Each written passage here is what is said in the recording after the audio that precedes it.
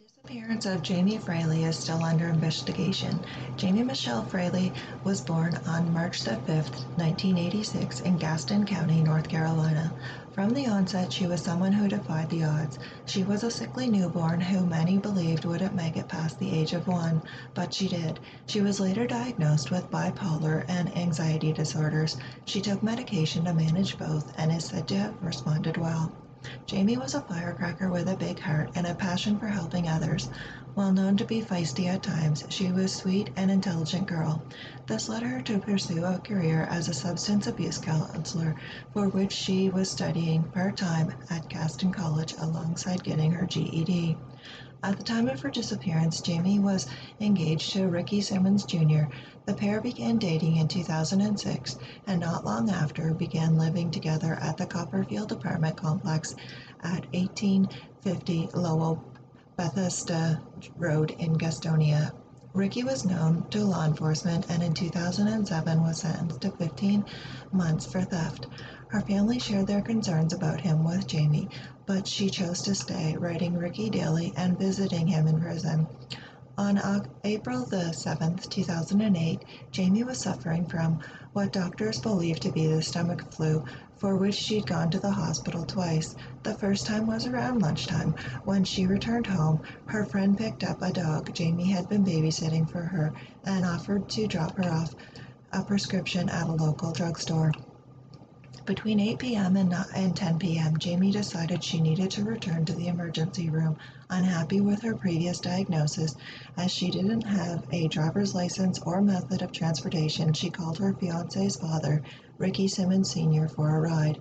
When she arrived at the hospital, she was told to wait three hours. She decided to leave and called another neighbor to ask for a ride back to her apartment.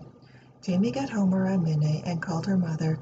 Concerned, Kim Fraley, her mother, asked if she wanted picked up the next day. Her daughter declined, saying she had an appointment with the Social Security Administration.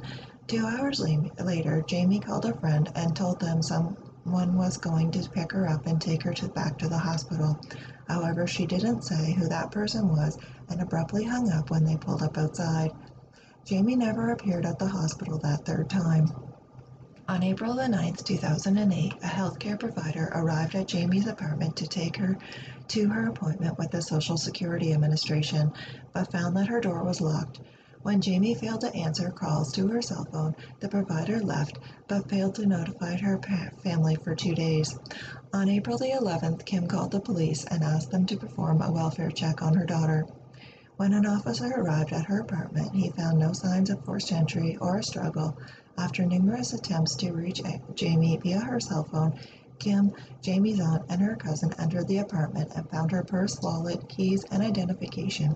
She'd also vomited in several places, indicating the severity of her stomach issues. Then they noticed the shoelaces were missing from her favorite pair of shoes, which struck them as odd. Kim once again called the police, this time to file a missing persons report.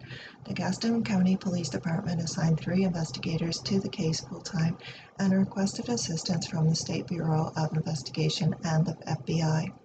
They interviewed Jamie's friends and family and conducted door-to-door conversations with residents of the apartment complex. The area around the complex was searched, including a nearby wooded area.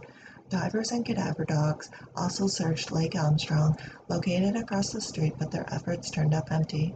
On April 13, 2008, a utilities worker repairing lines at the intersection of South New Hope Road and East Hudson Boulevard found Jamie's cell phone. It appeared to have been thrown from a moving vehicle. When investigators looked at it, they found several calls were made at 4:30 a.m. on the morning Jamie disappeared, but none connected. They were, they were later determined to have been dialed from her list of recent contacts and therefore not related to the case. What did interest investigators was a call made to the phone at 5 a.m. that same day. Unfortunately, they were unable to determine who it was from. Due to the amount of people who had handled the cell phone, investigators were unable to glean much from it. Search dogs were brought to the intersection where it was found, but they didn't hit on anything. Jamie's family made thousands of missing persons flyers, conducted their own searches, and hired their own investigator to aid in the search. Both Texas EquuSearch and the Kristen Foundation traveled to North Carolina in 2010. A billboard funded by the Kristen Foundation was installed along highway number I-85 to help awareness about the case. The family made attempts to enlist the help of forensic path psychologist Maurice Godwin in 2012, but he was denied access to Jamie's case file. The police department cited the ongoing investigation as the reason for the denial. A few years later, after Jamie's disappearance, an individual sent Kim a photo of a woman from a website advertising female escorts on the West Coast. But investigators contacted local authorities and they tracked down the female in the picture, and it was not Jamie. Investigators don't believe Jamie left on her own accord, as it is uncharacteristic of her to leave without warning. Due to the lack of evidence, no charges have been filed. However, foul play is suspected. Her DNA is available for comparison should her body be found. A reward is being offered for information that solves the case. On June 8, 2008, one of Simmons Sr.'s ex-girlfriends found his body in the trunk of her car. Before his death, she filed a restraining order against him for theft. She told police she noticed a foul odor emanating from her trunk, and when she opened it, she found his body. He had her keys in his pocket and her purse beside him. Investigators believe that he'd hid in the trunk to ambush her, but he got trapped inside and died of heat stroke. Kim has kept a box of her daughter's belongings, which includes a poem Jamie wrote. She shared she suffered from depression in the months following Jamie's disappearance, for which she sought therapy. Jamie Michelle Freely, Fraley, a white female, went missing from the Copperfield apartment complex in Gastonia, Gaston County, North Carolina on April 8, 2008. She was 22 years old and was possibly wearing a large white t-shirt and blue jeans. At the time of her disappearance, she stood 4 feet 9 inches tall and weighed approximately 90 to 100 pounds. She has strawberry blonde hair and either and blue eyes. The name Ricky is tattooed on her right ankle. Fraley has uh, from bipolar disorder and an anxiety disorder, which she needs to be taking medicine for these conditions, but was apparently off her medication at the time of her disappearance. In addition, Fraley was suffering from stomach flu at the time of her disappearance. She always wanted to help people, Kim said. It was her nature. Kim said that for years she could barely get out of bed, but was determined to keep her going for the rest of her family. Someone knows something, she said. What if it was your daughter, your sister, your child? It's time to come forward. Kim added that she's never going to give up searching for answers in her daughter's disappearance. Until you show me different, I'm going to have to have hope that she's alive, Kim said, and she'll keep up the struggle. As the years passed, Jamie's disappearance continues to be one of the un- only a few unsolved areas cases in the area, investigators say. It was one of my goals when I returned to work as a commander here, Captain Downey says.